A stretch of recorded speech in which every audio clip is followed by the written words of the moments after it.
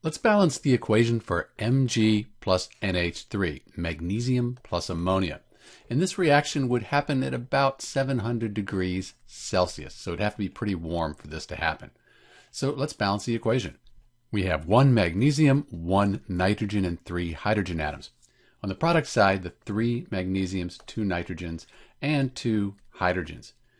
It's probably easiest to leave the magnesium and then the hydrogen gas here till last because they're by themselves. When we change the coefficient here, it won't change anything else.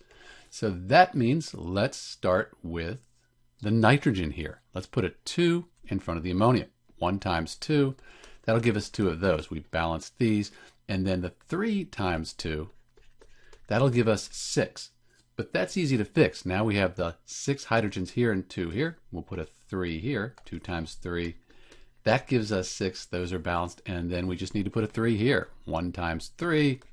That gives us 3. And we're done. This equation is balanced. If you wanted to write the states, that would look like this. This is Dr. B with the balanced equation for Mg plus NH3. This is magnesium plus ammonia gas. Thanks for watching.